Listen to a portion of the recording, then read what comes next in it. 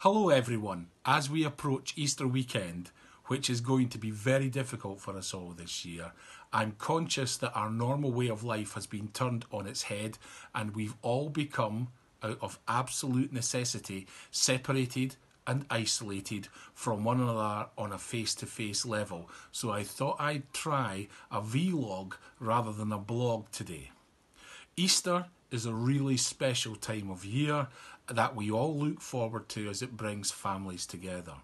Sunderland is full of close knit families and friendly communities, and it comes very naturally to people from the city to support each other, to come together, and to celebrate significant events like Easter as one.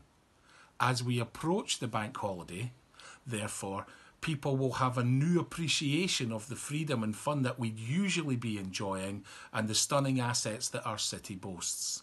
It's so easy to take things for granted, and the sense of being restricted and unable to visit and spend time with loved ones is one that I know many people, myself and family included, will be finding tough. Remember, though, we are all in this together, feeling the same things, and adjusting to a strange new way of life that nobody expected we'd have to endure. I know that for a lot of people in the city, Easter would normally provide a very welcome opportunity to spend time with their nearest and dearest, as well as their extended family and friends. The cruelty of coronavirus is the way in which it separates families, the way it makes it impossible for us to be close to the ones we love the most. But that cruelty is tenfold for the families who lose loved ones and who cannot say goodbye or give their lost family member the funeral they deserve. We must not lose sight of how grave the virus is and take the decision to surrender this Easter in order to, have many more with those we love the most in the future. We must keep separated from each other. I know it's tough, everyone, it really is, but it is what we have to do. So, my message is very simple and very clear. Please stay at home, protect the NHS, save lives. I know, by and large, people in the city are sticking to the law and observing the rules of this lockdown, and I am hugely grateful for that. Your acts of selflessness in saving lives and that you can be proud of, and when this is over and everybody has a clear conscience that you did the right thing, that is the point of us getting forward as a city and, and dealing with this collectively. It is ensuring that our amazing NHS is able to cope with the pressure it is under. And it is protecting other residents in the city who could contact, contract the virus and be unable to beat it. I know it's tough, especially when for many it's a very important and special time of year.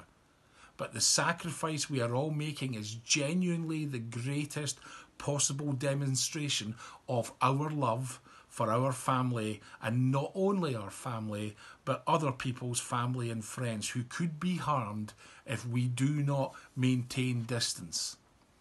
It is hard. It is heartbreaking for our families, for parents who want to see their children, for grandparents who want to give Easter eggs to little ones, for siblings, for friends who are parted. And it won't be the same as the Easters we have enjoyed in the past. But let's make sure that we give people the gift of more Easters with their loved ones in the future by staying at home, stopping this dreadful virus in its tracks, and saving lives. To those who are able to have a rest the weekend, I wish you a safe and peaceful Easter.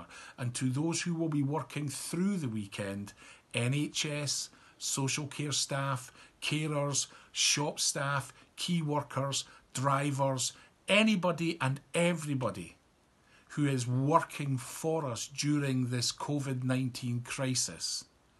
From me personally, an enormous thank you because without your ongoing work and support, this COVID 19 crisis would be worse. But everybody else, we will have further and more Easters. We will get back to sharing them with families. Just remember stay safe, protect the NHS, save lives, and have as good an Easter as you can, people. Have a lovely time now. Thank you for listening.